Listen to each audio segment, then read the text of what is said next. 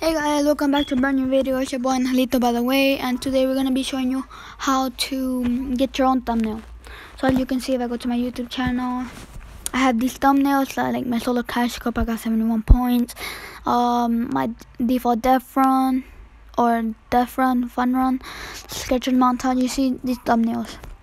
So what you wanna do if, if you're an iPhone person, you're gonna have to go into App Store. If you're an Android person, I don't know what you guys use I think it's called the um I don't know. But um so what you wanna do is you're gonna wanna search up YouTube or you could just press YT. I prefer YT because it's shorter and then studio. So um you're gonna wanna download this app and you can see it's like this one. Once you download it you have to open it. So and you can see you have all of these videos all of the videos that you have done um so there's gonna be um a little box called videos you can see these three videos and right below the third video like below this one view more. So click on view more. And then click on the one that you want to add a thumbnail in. So obviously i want to add let's see i'm gonna just just come down here see all my videos that i made way back before so I'll just do this on playing Fortnite or um, just not your average 50. So there's gonna be a little pencil here next to a box with an arrow pointing on top. You're gonna want to click the pencil. There's a circle. There's another pencil that's inside a circle. You want to click that.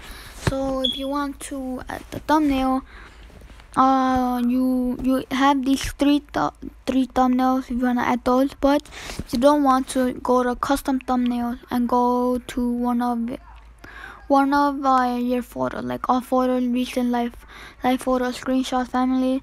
Uh, i have one that like my thumbnails that i put my thumbnails in. So obviously i'm gonna go to thumbnail i'm um just put this random one you know just like this. Um put the face you know. And I'm gonna wanna put select. So you can see right there um I have it. So now I'm gonna press save saving changes. You can also add the title and stuff. So now it's right there. So I think it's gonna take a couple.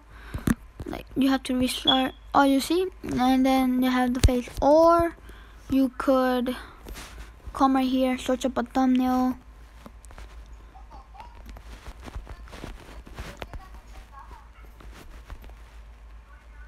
Yeah, just, search up a thumbnail. Uh, just search up a thumbnail, know. So you see these thumbnails and then yeah, so that's how you add a thumbnail to your videos. Hope you guys find this video helpful. Leave a like, subscribe for more of these videos in the future, and I'm out. Peace.